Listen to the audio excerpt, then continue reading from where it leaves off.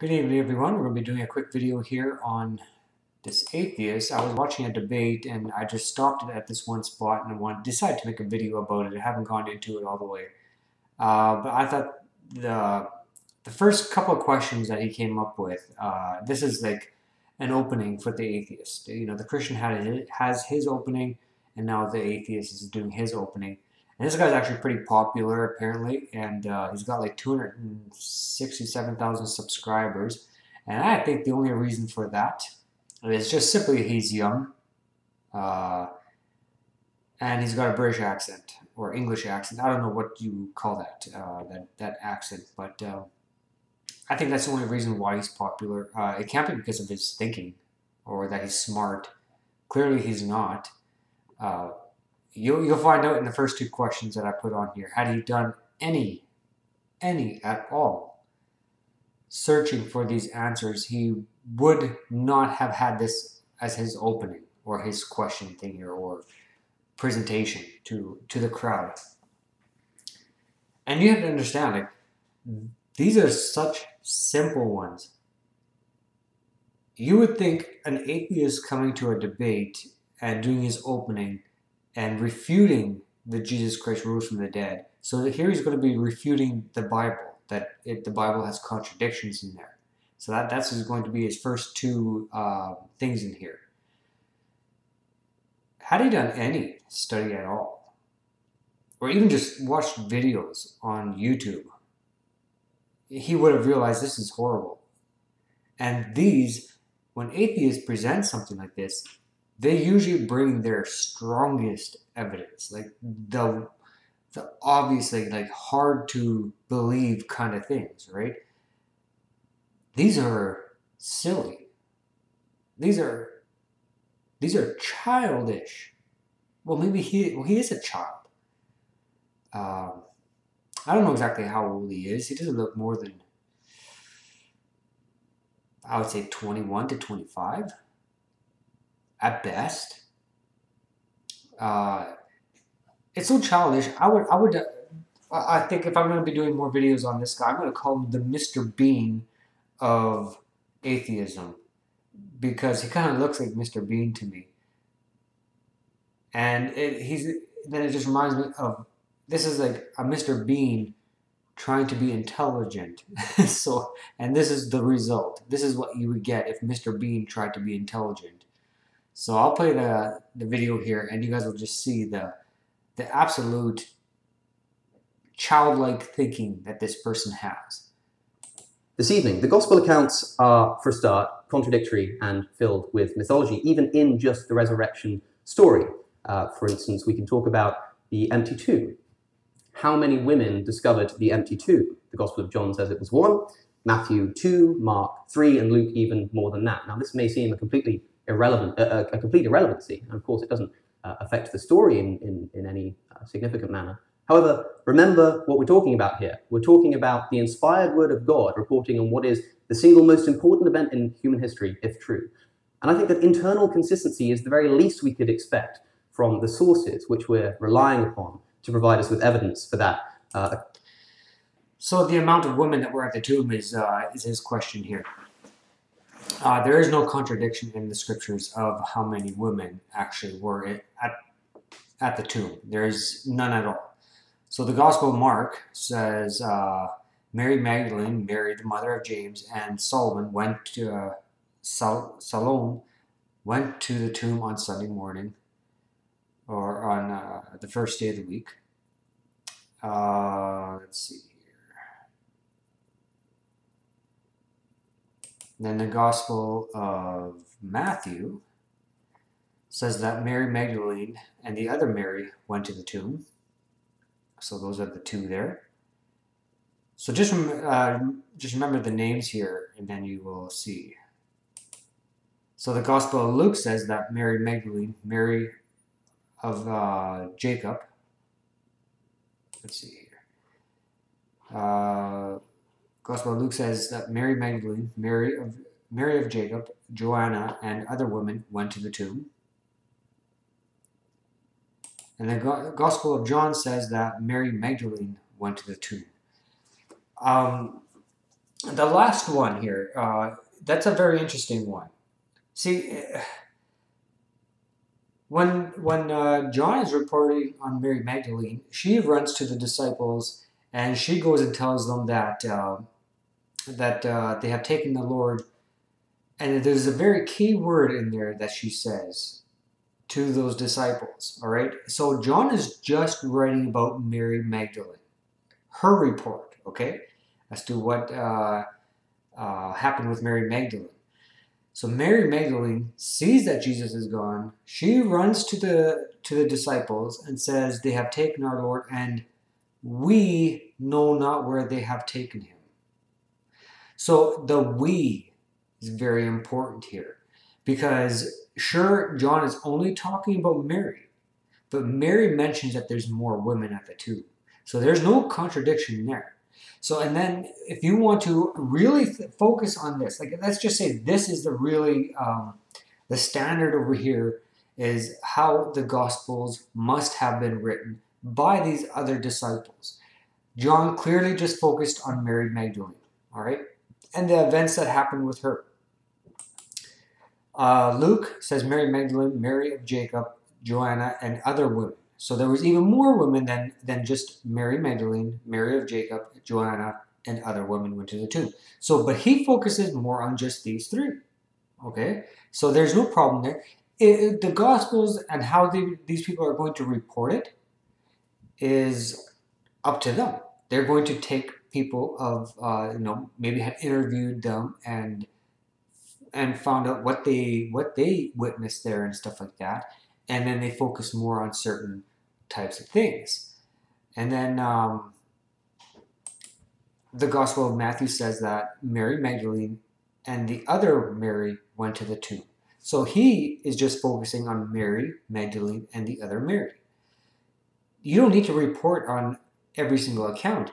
Who did you talk to and stuff like that? What stuck out to you? Remember, they are now writing the Gospels and Jesus says, "Now I will bring all like everything in remembrance."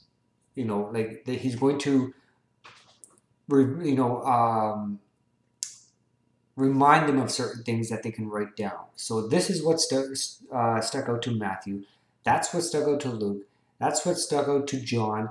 Uh, and the other one is uh, Matthew, Mark, and the, you know, and the other one is Mark. Uh, that's what stuck out to Mark. So yeah, Mark it says Mary Magdalene, Mary the mother of James, and Salome, Salome went to the tomb and stuff like that. So he remembered these three. Okay, so whatever was brought to remembrance to these people, that's what they wrote down.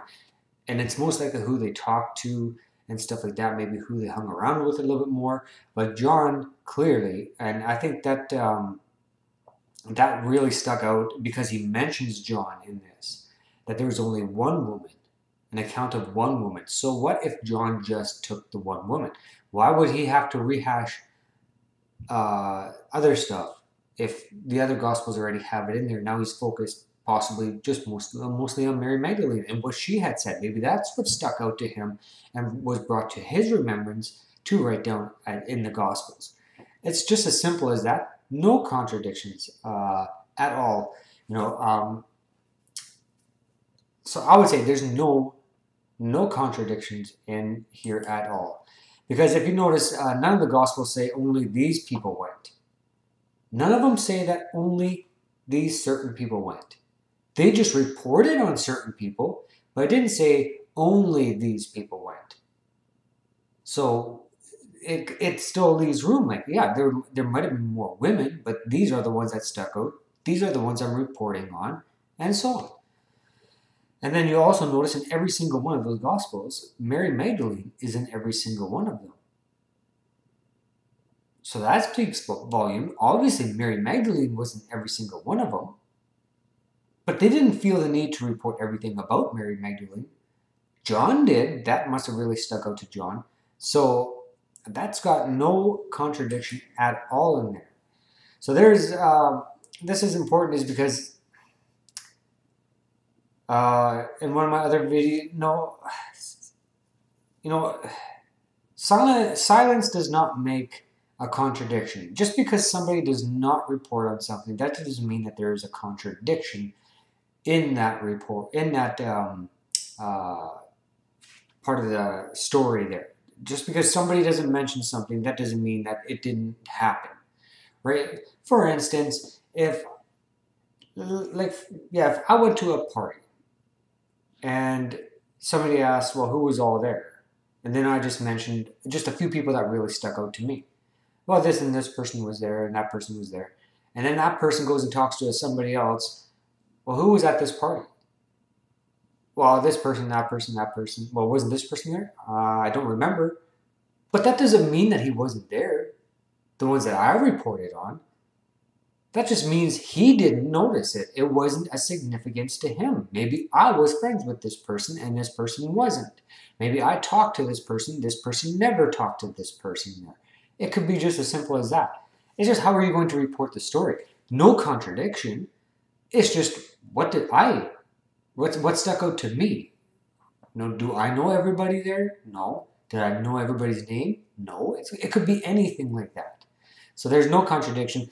But what you would have to understand with atheism is this. Uh, let's just say, for instance, perfect, perfect um, uh, description of what happened at the tomb. Every single one of those gospels completely 100% lined up. Every single woman, same names. All the events, same thing. Let's just say, for instance, the whole entire gospel. All right, all four gospels, 100% the same. Well, what would you call that then? Well, they were colluding. So you're, you're never going to satisfy an atheist, and that's why I say, I think this guy calls himself more or less a, well, skeptic. He, the, atheists are not skeptic, not one single bit.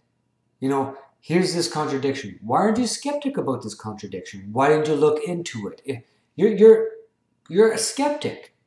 Look into these things. If somebody says there, there's a contradiction here, well, I'm skeptical. I'll check it out myself. But clearly, the Mr. Bean of atheism is just a joke. Okay, this guy just does not want to do anything.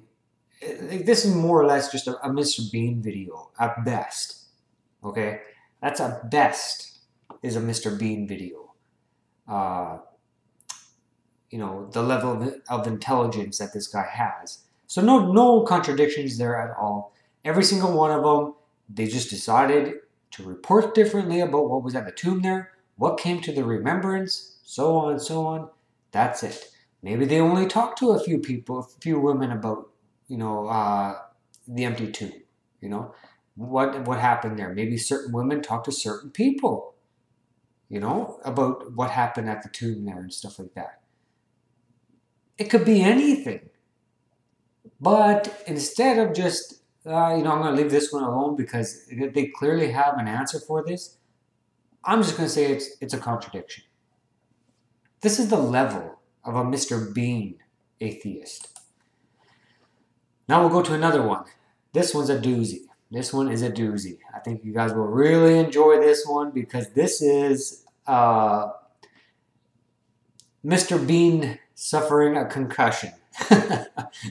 this is the Mr. Bean suffering concussion level of intelligence right here.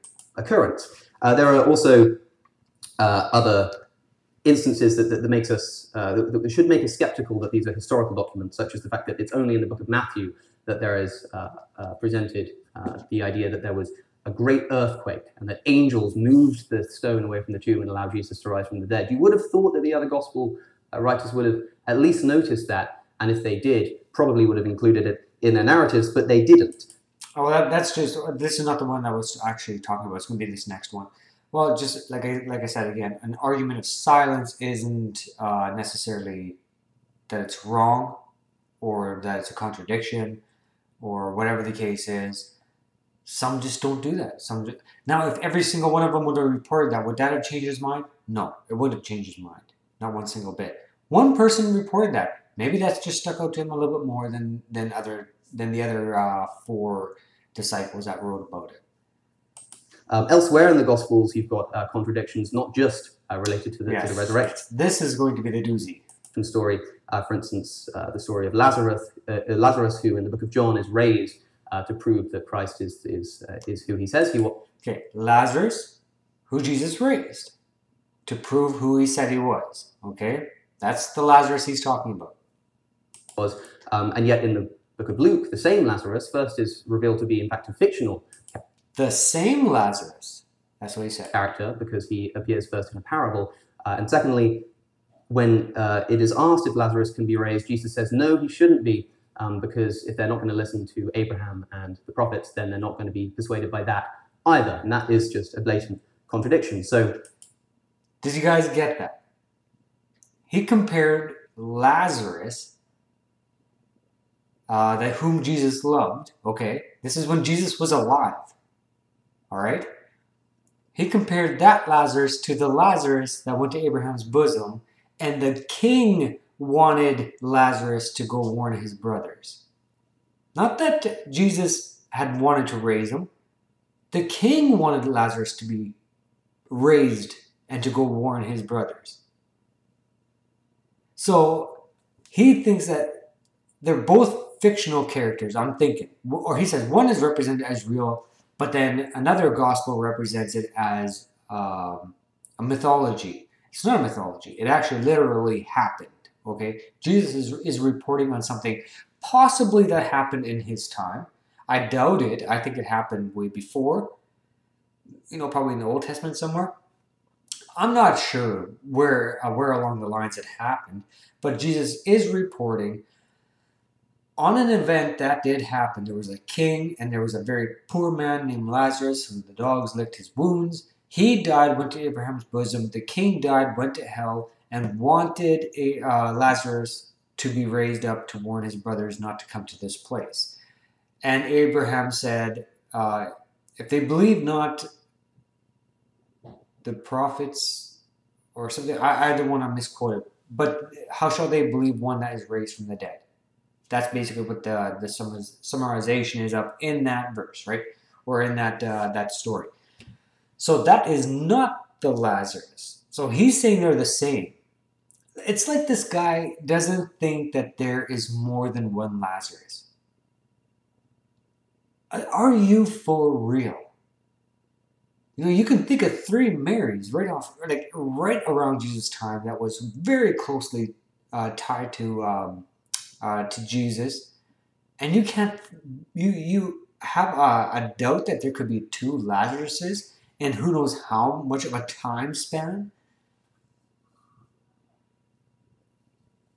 Like this is Mr. Bean. At best, Mr. Bean comical atheism right here. And I, like I said, I only say Mr. Bean because he kind of reminds me of Mr. Bean. He's just a, you know, um, a Mr. Bean that's just trying to be smart here. It, it's it's absolutely ludicrous. I don't know what you guys think. This is just the, the most sloppy. Like, I said, you come into a, a, a, debate and you bring your Goliaths of arguments, right? Like these are my Goliaths. Like I'm going to tear you down with these things right here. And this is petty. This is this is bringing uh, this is bringing uh, you know uh, a butter knife to war. you know, with people who have machine guns, tanks, missiles, and you got a butter knife. You're bringing a butter knife to this thing. I don't know. I just thought when I heard this, it was, I couldn't believe it. I just couldn't believe it. Let me know what you guys think down below. Uh, I'm to watch the rest of this, see if there's anything else I can comment on. Uh, and then we'll take it from there. But I just figured I had to put this up. And this is the new atheism. So you had the new atheism, which was Richard Dawkins, Christopher Hitchens, uh, uh, Sam Harris, and there's, there's, somebody else. I don't know exactly which other ones there were, but there was like the Four Horsemen. I don't remember who they all were, but so you had them, and now they're dying off, basically irrelevant. And now you have these comical teenagers thinking that they're smart. I don't even know why anybody would want to debate this guy. Like seriously, yeah, he's got a lot of subscribers. Okay, I get it, but this is like this is an unfair fight. Like this guy's just, uh, I, don't think he thinks past this guy's nose. I don't think he thinks past his nose. But that's just me. And I'll just put this up and uh, like, share, subscribe. Dislike doesn't really matter to me. But this is just comical. Mm-hmm. At best, it's comical. He should be called the, the comical skeptic, not the cosmic skeptic. It should be just called the comical skeptic. That's it. Like, and you're not even skeptical about what you think about these stories. Like, you didn't even look into it first. Bring your Goliath. This is, don't bring your butter knife to a gunfight. You bring your gun. but if this is the best that you got for contradictions in the Bible, that's sad. All right, thank you guys very much, and hope you guys liked the video. Uh, like I said, like, share, subscribe, dislike doesn't really matter to me, and uh, thank you guys for watching.